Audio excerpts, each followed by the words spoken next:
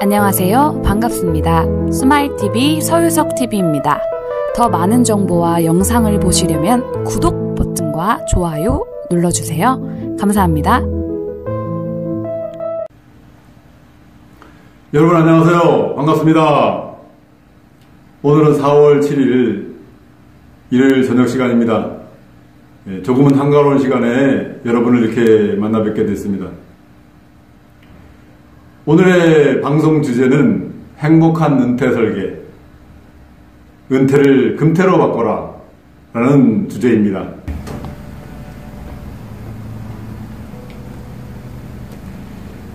실버 세대의 예, 노테크에 대해서 예, 알아봤습니다. 첫 번째는 재테크입니다. 예, 재테크는 뭐 음, 가장 기본적인 음, 준비 요소죠. 그리고 두 번째는 건테크, 건강테크, 건강. 예. 나이 들 들면 고혈압, 당뇨, 그리고 고지혈증, 음, 여러 가지 예, 성인병에 시달리고 시달릴 수가 있습니다. 예, 그런 병들을 예, 평소에 젊었을 때 관리를 해나가야 된다고. 세 번째로는 음, 청테크입니다. 예. 몸과 마음을 깨끗이 항상 청결을 유지해야 된다는 거죠. 나이 들면 음, 냄새가 날 수 있으니까 냄새가 난다고 손주들이 안올수 있으니까 어, 깨끗하게 청결하게 예, 온 몸과 마음 가짐을 해야 된다고 합니다. 그리고 우테크입니다. 예, 버두자 예. 버두자 어. 나이 들어서 70, 80대에서 어, 친구가 없으면 정말 외롭, 외롭고 어, 또 그 우울감을 느끼게 됩니다. 그래서 나이 들어서의 친구는 지금 젊었을 때 예, 관리를 해줘야 된다는 거죠.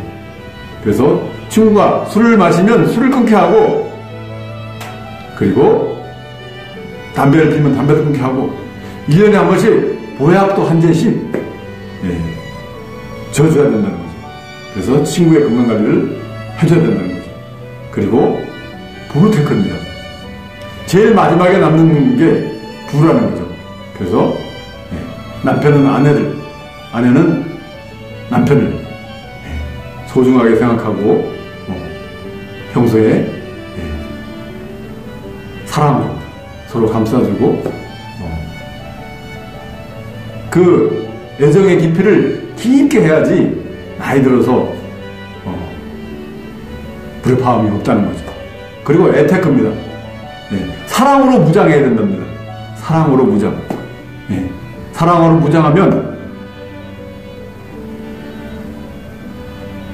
조그만 일에도 삐지지 않고 그리고 포용력 있게 예, 주위 사람들과 원만하게 잘 지낸다는 거죠. 그리고 마지막으로 제일 중요한 거는 예, 소테크입니다. 소테크. 웃을 소자죠. 예.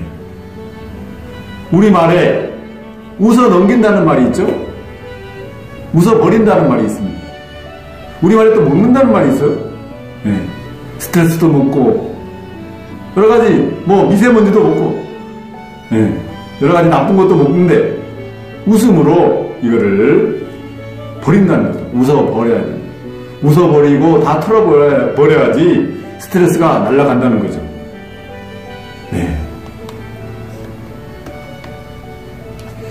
우스갯소리가 있죠? 여러분도 다 아시죠? 예. 여, 여자의, 50대 여자의 필수 품목이, 예. 여러분 아시죠? 어. 돈, 친구, 딸, 강아지, 찜질방. 예. 여러분, 남자의 필수 품목은 뭔지 아시죠? 어. 여보, 마누라, 와이프, 처, 아내. 예. 오로지, 예. 부인밖에 없다는 거죠. 예. 특히 나이가 들수록 더 그렇다는 겁니다. 예. 그래서 그 남자들은 돈 벌어주다가 돈꾼 떨어지면 덩어리로 바뀐다는 거죠. 집에 두고 오면 근심 덩어리, 같이 다니면 골지 덩어리, 그리고 딸내 집에 가면 눈치 덩어리. 정말 남 요즘 우리 남자들 아, 많이 정말 힘들게 사는 것 같습니다.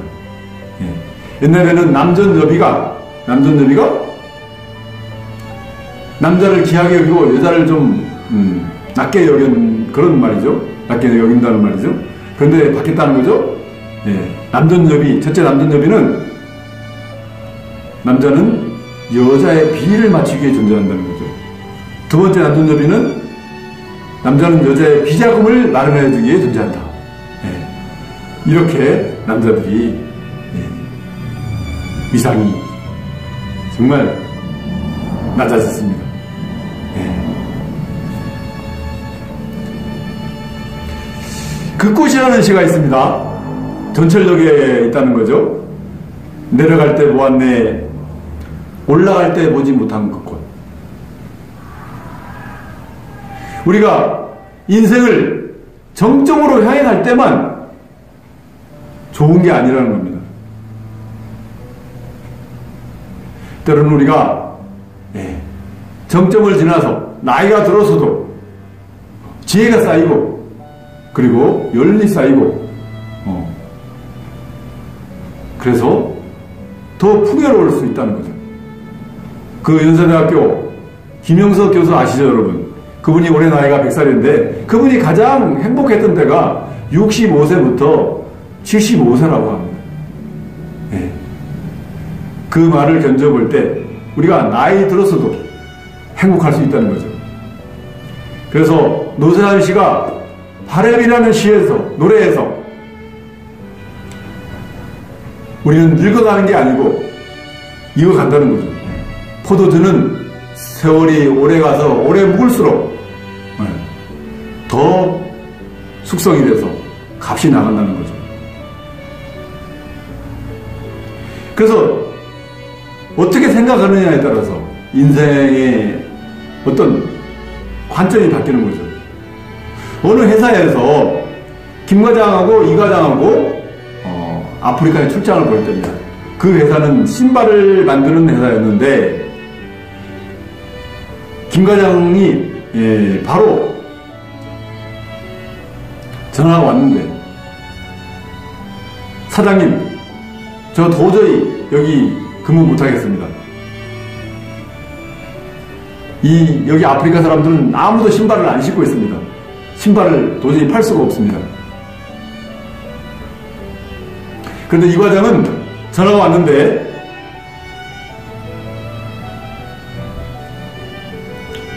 사장님 정말 여기 잘 왔습니다.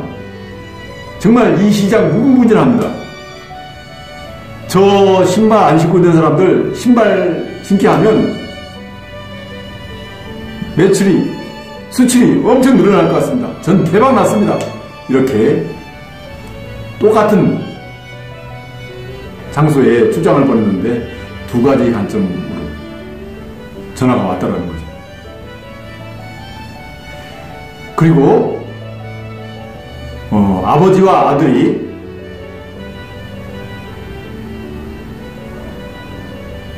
사막을 여행하게 되더니 그런데 그 아들은 마지 못해서 아버지가 사막을 여행하자고 그러니까 마지 못해서 어,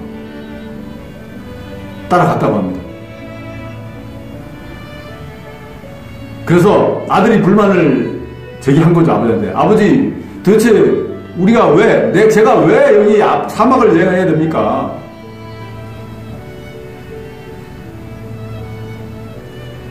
전 못합니다, 아버지. 전, 전 돌아가겠습니다. 그런데 아버지가, 야, 조금만 참아라. 우리 한번 해보자. 그래서 여행을 하게 됐는데, 한참을 갔는데, 무덤이 발견됐답니다. 근데 아들이 탄식을 하면서 아버지한테 얘기했답니다. 아버지, 저 무덤 보세요. 우리도 저 사람처럼 곧 죽을 겁니다.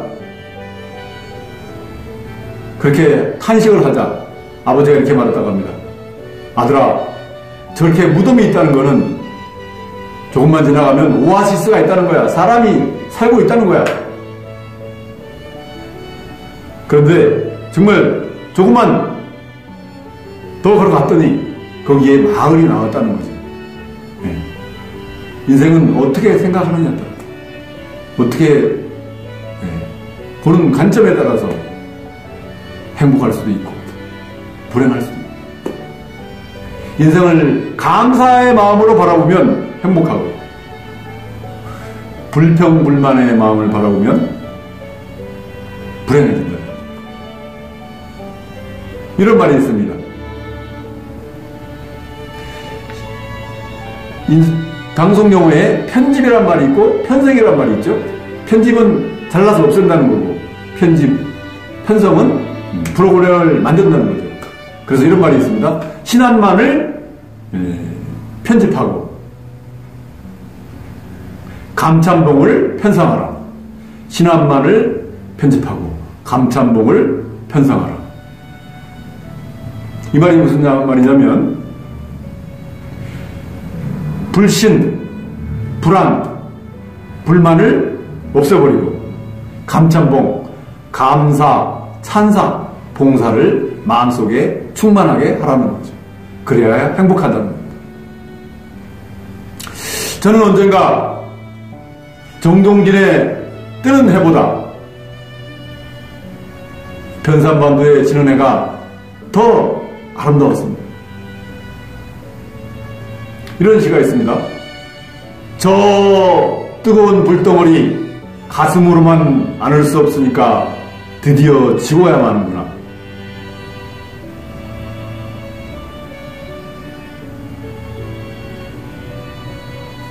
정말 인생을 마무리할 때 마지막 불꽃을 태우고 간다는 그런 마음으로 살아야 될 것 같습니다. 정말 활활 타오르다가 주가열이가 부른 소풍 같은 인생처럼 음, 그리고 청상병 시인이 노래한 시처럼 소풍 끝나는 날 나 웃으며 돌아가리라 정말 네. 49.19km 마라톤 음, 완주할 때까지 마지막 테이프에 가슴을 들이밀 때까지 정말 최선을 다해 살아야 될 것 같습니다. 마지막으로 어, 시한 글을 낭독하고 마무리하겠습니다. 아름답게 나이 들게 앞서서 해야 할 좋은 일들은 너무나 많습니다. 꼭새 것만이 좋은 것이 아닙니다. 오래된 나무에 시력이 있고 오래된 거리에 영화가 깃들듯이 이들처럼 저도 나이 들어감에 따라 더욱 아름다워지게 하소서. 정말 가슴에 와닿는 이 시를 여러분과 함께 감상하고 오늘 방송을 마무리하도록 하겠습니다. 감사합니다. 끝까지 저희 유튜브 방송 시청해 주셔서 대단히 감사합니다. 오른쪽에 있는 구독 단추 눌러서 구독해 주시고 왼쪽에 제가 추천드리는 또 다른 유튜브 방송 시청해 주시면 대단히 감사하겠습니다.